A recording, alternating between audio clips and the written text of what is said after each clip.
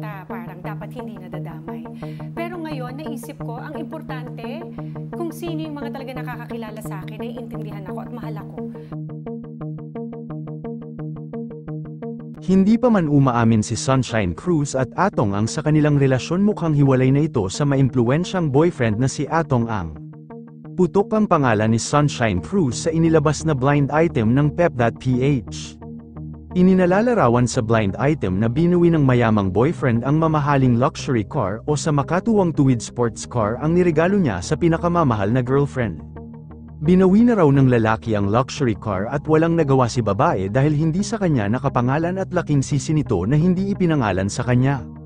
Bukang bibig ng publiko sa comment section ay si Sunshine Cruz at Atong Ang. Hindi lingid sa madaming tao ay na-link si Sunshine Cruz kay Atong Ang noong nakaraang taon pa.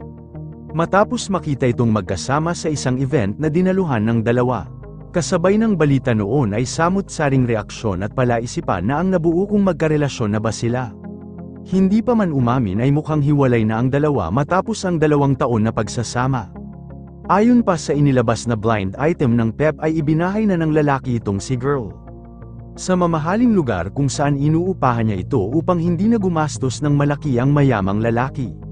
Tugon sa comment mukhang mahal na mahal ng lalaki ang babae na sinasabing si Atong ang ang lalaki sa blind item at si Sunshine Cruz naman ang babae na ibinahay at itinago ang kanilang relasyon. Bawal daw malaman ng lahat ang kanilang relasyon dahil may anak na itong si lalaki at pamilyado kaya kapag nalaman ay mukhang sa korte ang bagsak nilang dalawa. Ngunit ganun pa man hiwalay na ang dalawa at walang sinabing rason kung ano ang naging sanhi ng kanilang hiwalayan. Kung si Sunshine Cruz ang tinutukoy sa balita ay dapat raw naging wise na ito at nag-ipon na ng malaki habang sila ng bilyonaryong boyfriend.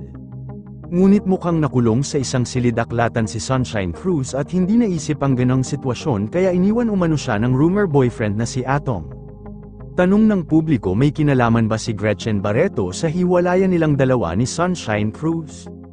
Ang sagot ay wala dahil may asawa si Gretchen Barreto at magka-partner lang sila sa negosyo nitong si Atong Ang, kung totoo na hiwalay na sila Sunshine Cruz at Atong Ang at kung meron silang naging relasyon ay mukhang walang balak ang dalawa na sabihin sa publiko dahil hindi malinaw sa lahat na hindi naging sila dahil hindi nila ito inamin sa publiko. Yun lamang po ano ang masasabi mo sa balitang ito comment mo sa ibaba. Huwag kakalimutan i-like ang video na ito maraming salamat po sa panunood.